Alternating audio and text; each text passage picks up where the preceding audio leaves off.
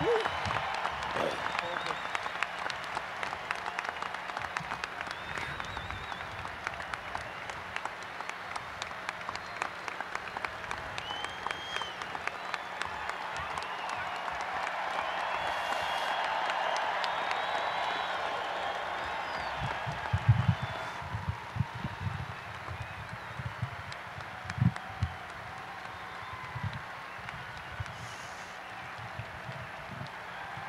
Thank you. Thank you.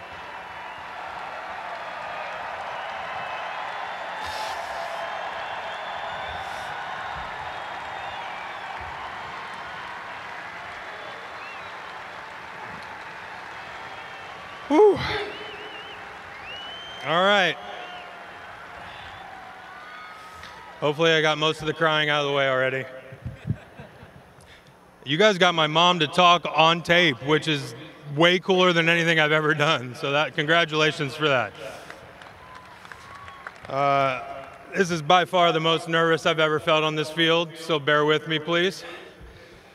But uh, what, a, what a day to see kind of all this stuff, all these videos. Uh, brings back a lot of memories. It's an honor to be here, and I'll start off by taking some, thanking some people. Uh, Ted and Annette, Mark and Judy, the entire Lerner family and the entire ownership group. You have treated me and my family so well since day one, and I can't tell you how much I appreciate that. You grew and learned throughout the years like all of us, and you did that by listening to the players and making adjustments. You built a first-class organization and you won a world championship. You should all be very, very proud of that. It was an honor to work for you.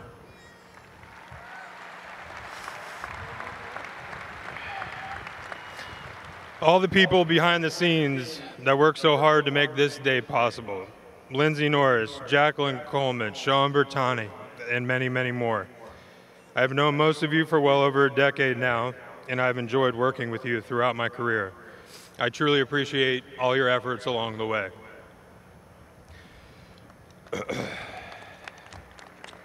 now we go back to the beginning. Virginia Beach,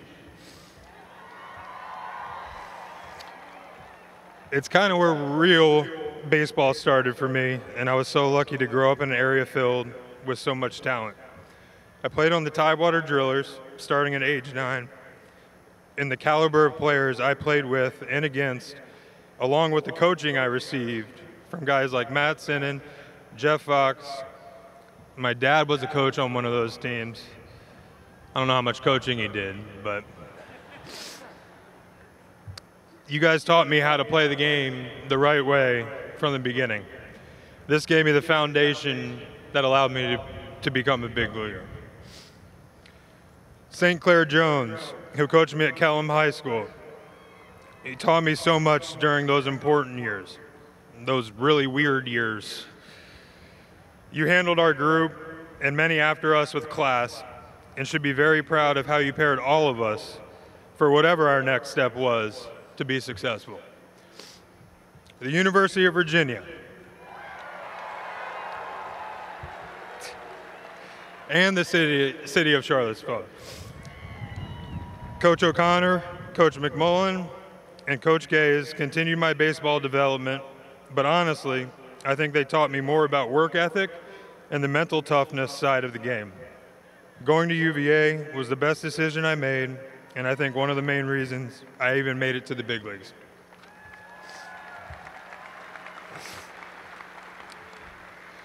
Mike Rizzo, who has been here with me pretty much the whole time. I tell everyone I respect the heck out of you because you have always told me the truth, which is hard to find these days. Sometimes it wasn't what I wanted to hear, but you never lied to me. It was so much to be fun to be a part of building a championship team with you. Harolyn Cardozo, who has been basically the team nom and sort of my DC baseball mom for almost 20 years. Thank you for helping me, all my teammates, everyone involved in the organization with so many things on and off the field. You helped me from the time I was a single 21 year old and now a married man with lots of kids. You always had the answers, and somehow you always had the time to help everyone. To all of my managers, and I had a lot of them. From my very first, Mr. Frank Robinson.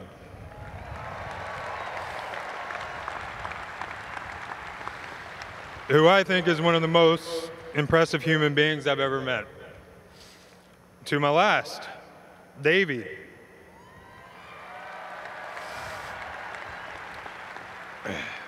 Who is one of the most versatile people I've ever met. You handled every situation with class, and you truly care about your players more than anyone I've ever been around. Every single manager that I had, Frank, Davey, all of them, taught me something on and off the field. Lots of things, more than one thing, that helped me get to this point. So thank you guys. Thank all of you who took time out to manage me.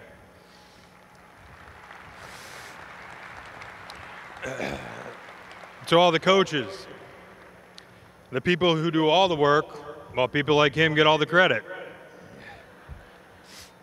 Your commitment to making me a better player every day will never be forgotten. You all sacrifice time with your families, nine, ten months out of the year, to teach a game that we all love. You helped me become a more complete player, and I would not have had the career I had without all of you. Thank you.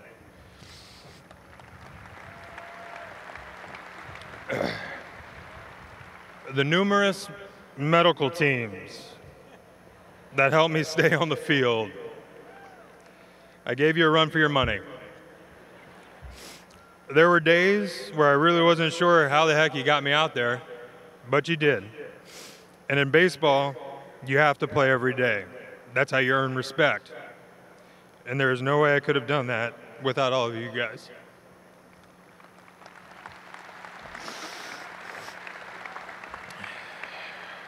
Clubhouse staff, you are the first ones there every day and the last ones to leave.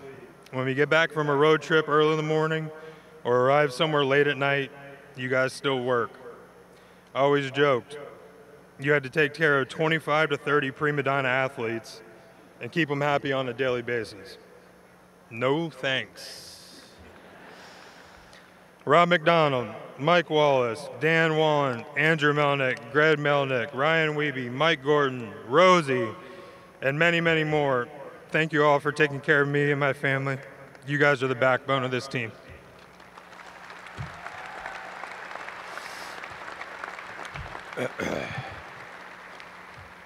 to all of my teammates, from high school all the way to the big leagues, you were what I miss most about the game. It was so much fun to get to know, get to know so many different people from all over the world. I learned so much and became such a better person because each and every one of you.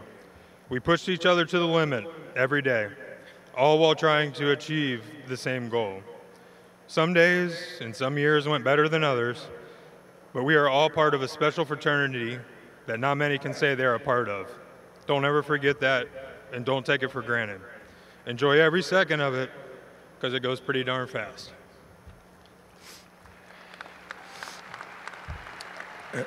to my agents at CAA, Brodie Van Wagenen, Jeff Berry, Tom Hagee, Sean Twitty, Matt Ricardo, Jen Brazil, Terry Prince, and John Palguda, and lots more. Thank you for 20 years of uncompromised excellence. You kept every promise you told me at the beginning, and that's saying something for agents. You were honest, and you equipped me and my family with all the information we needed to make many very important life decisions during my career. We achieved so much together, but importantly, more importantly, we had a lot of fun doing it. Thank you.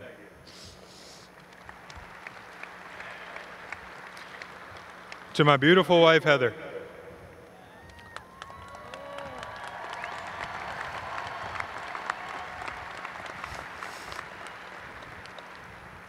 There is no way I could have done this without you. It truly is amazing how positive, energetic, caring, and selfless you are every single day. It is infectious, and you make everyone else around you a better person. Being home every day now makes it even more impressive.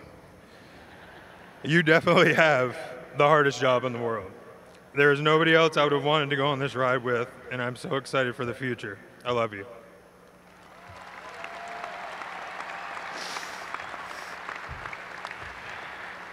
To my kids, Mackenzie, Hayden, Henry, and Benjamin, thank you for showing me that baseball is not the most important thing in the world. I am so grateful that I will be able to be around to watch you grow and be a part of whatever you end up being passionate about. Just remember, if you work hard, treat people like you want to be treated, and make good decisions, you can do anything you want. I love you.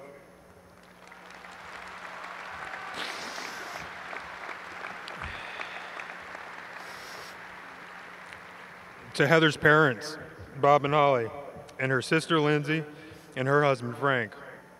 I'm so lucky to have such a great family unit. You guys have helped me and Heather so much over the years with the kids and many other things. There's no doubt in my mind that we couldn't have done this without your guys' help. Thank you.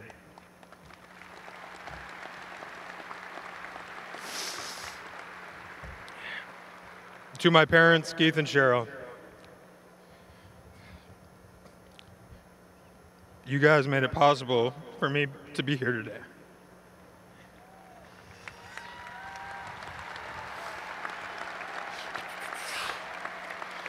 All your sacrifice, hard work, patience, leadership, love, and so much more left a lasting impact on me from the very beginning. The driving to all the games, the tournaments, the countless hours of baseball, and all other sports in the yard until after dark sometimes. I'm lucky to have such a great parents as role models, and now I can strive to be like you with my kids. Dad, thanks for raising me to be a good man and always lead by example.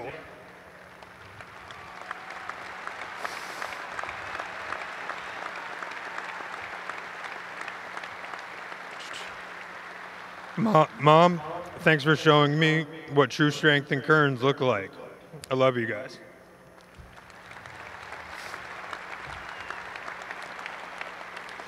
To my brother Sean, I was lucky to have such a great brother to grow up with. We did lots of things together, but whatever it was, we competed. You are a big reason why I'm here today, and I'm happy I will be able to spend more time with you and your lovely wife, Andrea, and beautiful little girl, Kinsley. I'm so proud of what you have become as a man, husband, and father. I also have a little bit more time to play golf, so I'm finally going to beat you. One time. Watch out.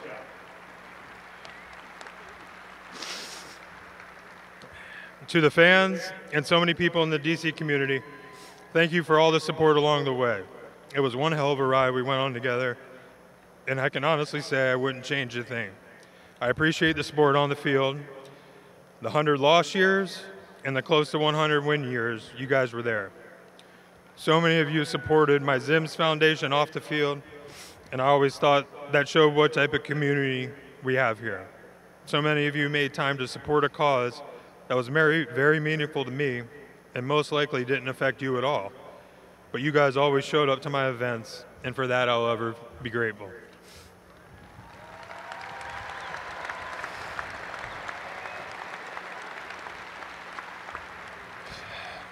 So as I sat down and thought about what it meant and what I wanted to say about having your number retired. I was very humbling, and it's one of the highest honors in sports. You think of all your heroes that have had their numbers retired, players that, Im- that you imitated when you played wiffle ball in the backyard. Mine were Cal Ripken Jr. and Chipper Jones. But as I thought more and more, I remembered so many stories of all the people that helped me get to this point many of whom I mentioned previously. I feel like this day, this celebration, is as much for them as it is for me. Nobody who gets their number retired does it on their own. They all had an incredible, incredible support system, and I am no different. When you're playing, you rarely, if ever, take a time to step back and think about accomplishments, individual or team. As athletes, we are conditioned to take it one day at a time and never get too high or never get too low. You just keep grinding.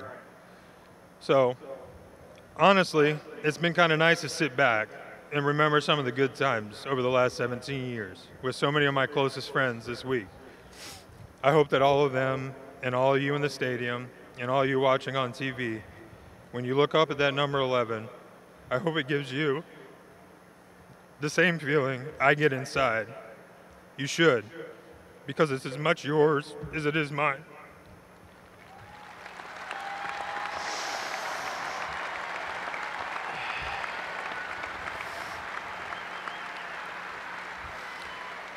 The other thought I kept coming back to is how baseball parallels real life.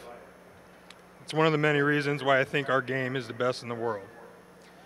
Failure is a huge part of our game and also a pretty big part of life.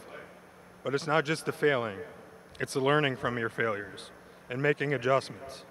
Sometimes for us, in between pitches, or in real life, on a day to day basis. Like getting the carpool pickup time wrong on Monday and being on time on Tuesday. It's a pretty quick adjustment. You also have to be a good teammate, day in and day out, even when things aren't going well.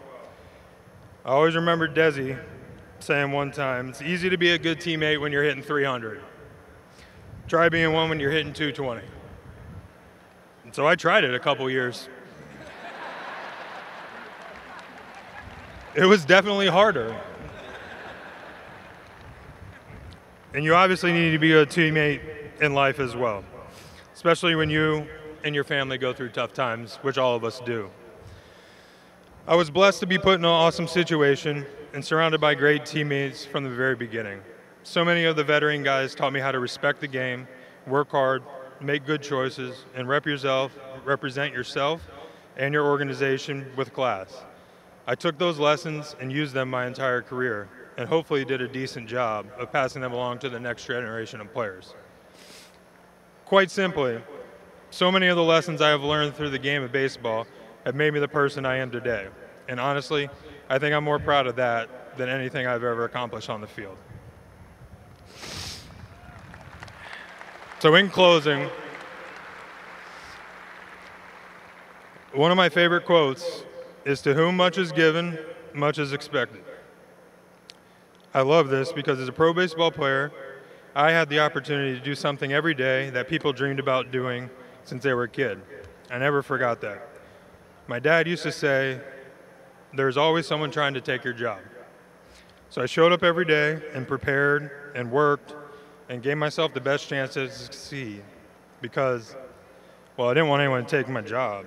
But honestly, I felt that I owed that type of effort to the game of baseball and maybe more importantly, I owed it to all of you who watch me every day.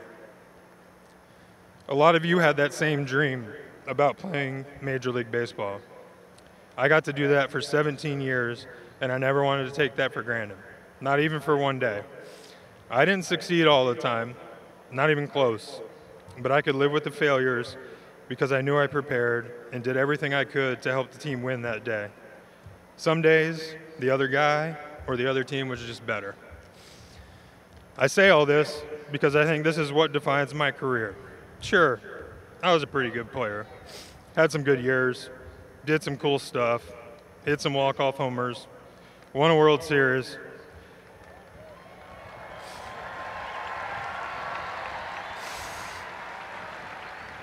But there's always a but after the good stuff. I also got hurt a few times, had to change positions, and honestly, had some pretty mediocre seasons. I think number 11 is up there today because, yes, I could play some ball, but more because I brought the right attitude, work ethic, commitment, and consistency every single year, day in and day out.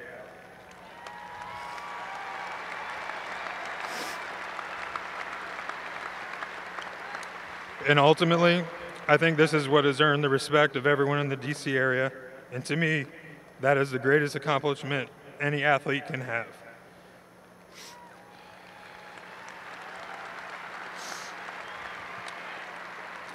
I knew I knew I was given a great opportunity, but I also knew much was expected of me, and it was my honor to try and live up to those expectations for the last 17, 17 years.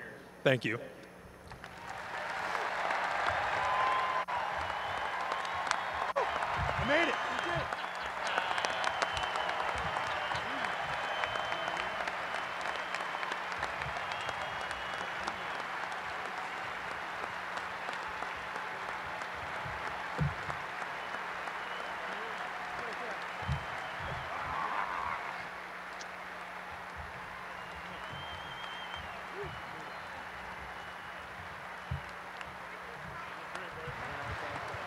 Ladies and gentlemen, one more time, Ryan Zimmerman.